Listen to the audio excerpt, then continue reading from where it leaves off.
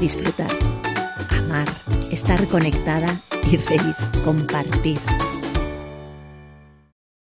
Porque la práctica de mindfulness puede ayudar a reducir el estrés y a mejorar nuestras vidas. Durante gran parte de nuestro tiempo estamos desconectados de nuestros cuerpos y de nuestras vidas. Los psicólogos dicen que un 80% del tiempo estamos pensando en otra cosa que no tiene nada que ver con lo que estamos haciendo. Por ejemplo, estamos conduciendo, cocinando o escuchando a alguien, bueno, se supone que escuchando a alguien, pero nuestra mente está pues viajando, divagando, mm, yendo a otros tiempos, a otros lugares que no son aquí y ahora.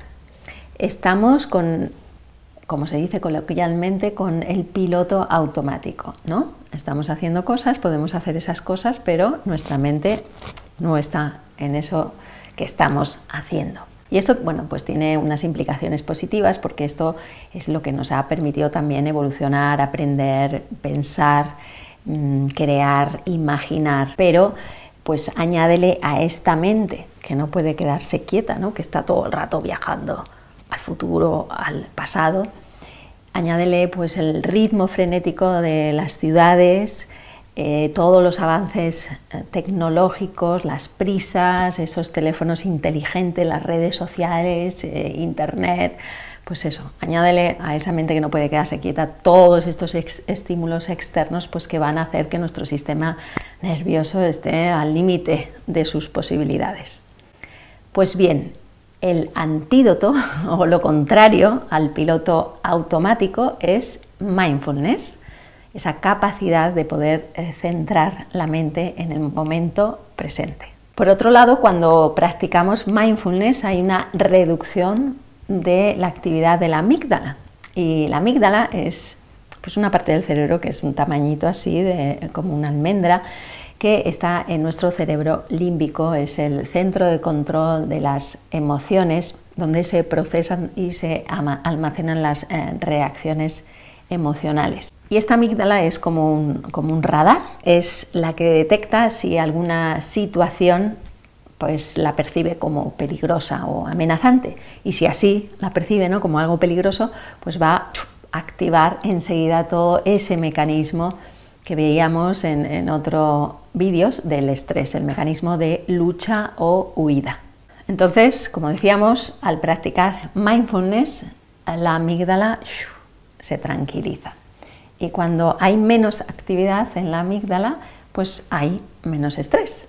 Los estudios en neurociencia dicen que la práctica de mindfulness ayuda a disminuir esa red por defecto, ese piloto automático también modula la parte más evolucionada de nuestro cerebro, la que rige el comportamiento, la conducta, la parte prefrontal del neocortes y por otro lado también regula las emociones.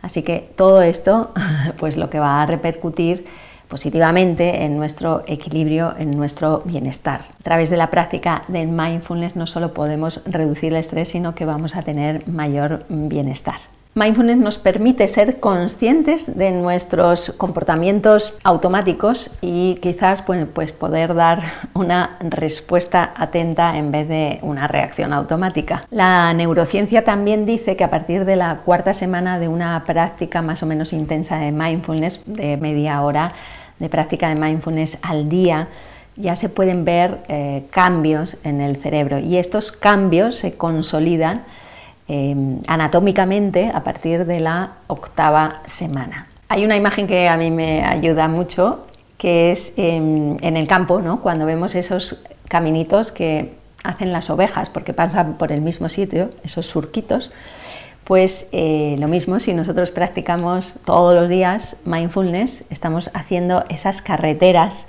esas redes neuronales, ¿no? Y si dejamos de practicar, pues igual que la oveja deja de pasar por ahí, empieza otra vez a crecer la hierba, ya no hay ese surco, esa vía anatómica, esa autopista que estamos creando con la práctica de, del mindfulness. Espero que este vídeo te haya resultado útil y que ya sepas por qué el mindfulness puede ayudar a reducir el estrés y a tener mayor bienestar. Te invito a que pases a mi espacio y veas la formación de mindfulness que ofrezco y los retiros y cursos que he diseñado para cuidarnos y hacer turismo interior. Ojalá encuentres dentro la inspiración que buscas.